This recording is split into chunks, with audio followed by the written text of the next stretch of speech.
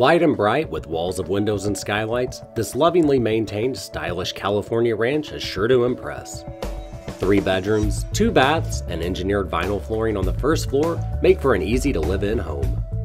Beautifully landscaped with a huge deck and an above ground pool. An entertainer's and nature lover's dream come true. The Ryan Hunter team would love to give you a private tour.